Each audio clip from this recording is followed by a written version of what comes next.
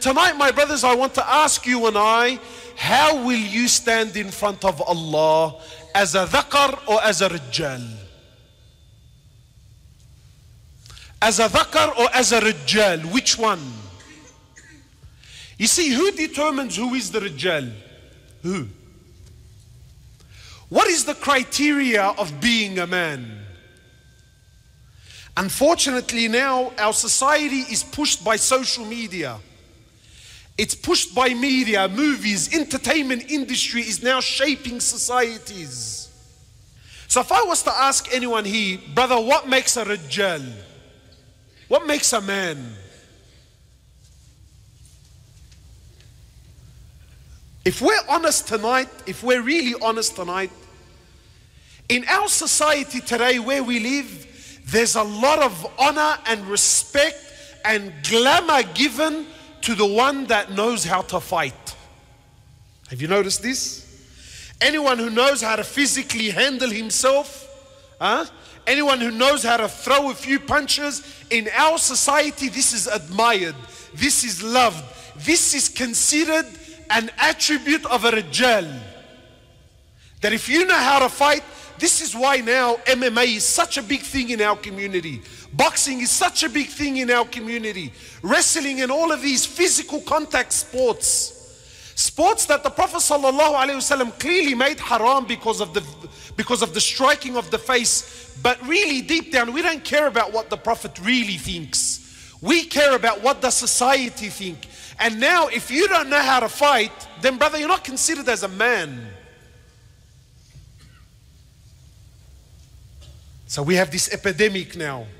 And trust me, this is not new. Muslims understand whatever sickness we're going through, it's not new.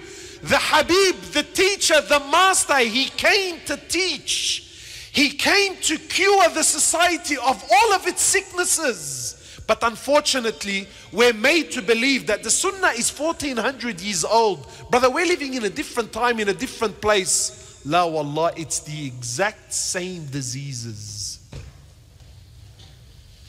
So the Prophet sallallahu alaihi wasallam, please, please, I want you to leave this with me. The Prophet walks into the masjid one day, sallallahu alaihi wasallam, yes? Walks into the masjid and finds the Sahaba wrestling. Halal or haram? Would the Sahaba do something haram in the masjid? Billah, no. So clearly halal, they were wrestling in the masjid, wrestling, not, uh, not striking the face, wrestling in the masjid. So he sallallahu alayhi wasallam walks into the masjid and sees the gathering. You know, I, I just, I just, because I have a very strange way of thinking, let me think out loud with you. And Allahu Alam, I'm not saying this is sharah of the hadith. No, these are just my thoughts. You know, sometimes, sometimes you're doing something with your friend and it's funny. Between you and him, it's funny. But then someone walks in and all of a sudden it goes from funny to looking very foolish. Have you ever had that? You know, sometimes you're someone walks in halfway through the joke and doesn't see the joke, and, and then you start, oh yeah, Allah, what a jursa, what an embarrassment. So the Sahaba, this is this is how I'm thinking, you know. The Sahaba, they're wrestling in the masjid, and then imagine imagine Rasulullah walks in, sallallahu. Imagine, imagine the honor, the izzah of the man. Walks into the masjid, and Sahaba are wrestling. So, Allah, me personally, I can't help but think, like, you know now, not the Prophet, a Sheikh walking, jealous, bro, pull up, man, the Sheikh see ya, bro, the Sheikh see. You know, in high school, whenever we were doing something and the teacher was coming, we had a code word.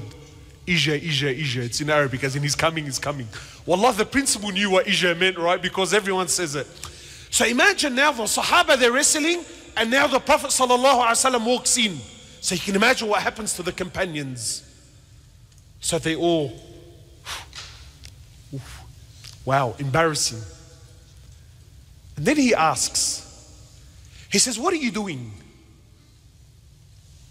Please, please. Didn't the Prophet know what they're doing? Honestly, honestly, tell me something. Didn't he know what they were doing?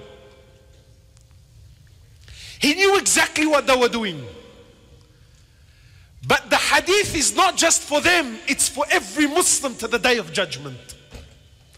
And I tell you, Islam is ancient. Habibi, Islam is contempt. Wallah, wallah, qasam. Sometimes I will read or hear a hadith or read a verse, and it's like Allah said these words in 2019 March. That's how alive the Quran is. People tell me it's old. So he walks in, he sees them wrestling. He says, What are you doing? Ya Rasulullah, marra man, let it go. Khalas, he walked in, we've stopped wrestling, leave it.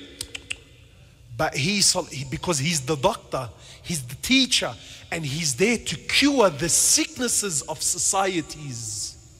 So they said, Ya Rasulullah, we are, we're wrestling. Then he asks, Why are you wrestling? Look at the salt now. Now the salt is straight to the wound. Yeah, imagine the Sahaba, Allah, who's going to explain why we're wrestling? Who? Who's going to explain why we're fooling around?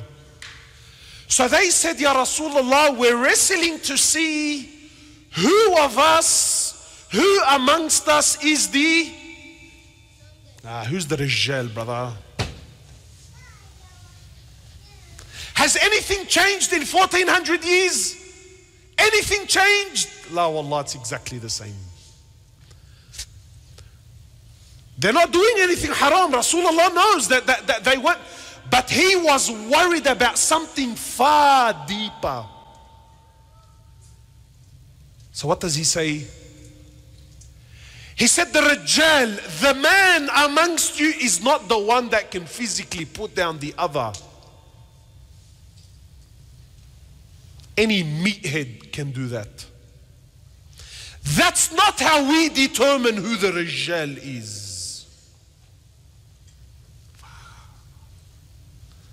Imagine how the Sahaba felt. Imagine when the Prophet is telling him, This is not how we determine men. He said, The Rajal amongst you the man amongst you. Please, my young brothers, please don't fall for the fitna of the street, man. This deen will make a man out of you. The street will only make a thug out of you. He said, The Rajal amongst you, the man amongst you, is the one who, when a musibah, when a calamity happens, he can control his anger and his wrath. He can control it. He's patient. This is the man.